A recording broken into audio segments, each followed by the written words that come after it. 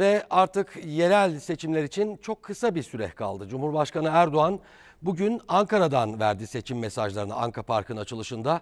Erdoğan CHP ve İyi Parti'nin Ankara adayı Mansur Yavaş'ın sahte senet skandalı hakkında konuştu. Ankara'yı rastgele ellere teslim edemeyiz dedi. Ankara'yı rastgele ellere teslim edemeyiz. Sahte imzalarla senet imzalayanlara teslim edemeyiz.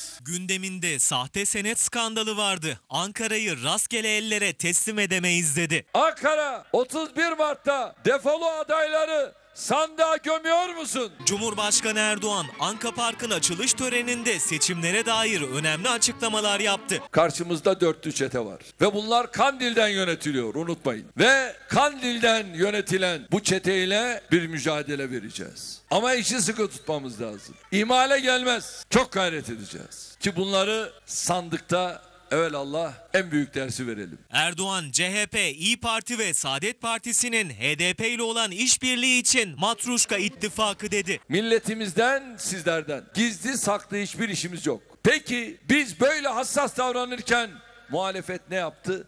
Onlar da gittiler Matruşka ittifakı kurdular. Ancak ittifakın içine daldıkça tıpkı Matruşka gibi içinden bölücüler çıkıyor. Taksim'de ezanı ıslıklayan edepsizler çıkıyor. İttifakı değiştikçe içinden Pensilvanya'nın ve Kandil'in uzantıları çıkıyor. Bu ittifakta her şey var ama samimiyet yok. Bu ittifakta her türlü alengirli işlere yer var. Ama doğruluğa, dürüstlüğe yer yok. Bölücü heveslere tahammül var ama vatanperverliğe, milliyetperverliğe tahammül yok. Bay Kemal ve hanımefendi ilk günden itibaren ittifakın gerçek patronunun, asıl ortağının kim olduğunu gizlemeye özellikle dikkat ettiler. Cumhurbaşkanı CHP'nin Ankara Büyükşehir Belediye Başkan adayı Mansur Yavaş'ın sahte senet skandalına da değindi. Ankara'yı rastgele ellere teslim edemeyiz. Sahte imzalarla senet imzalayanlara teslim edemeyiz. İki dönem burada seçim kaybeden birisiyle Mehmet Bey mukayese edilir.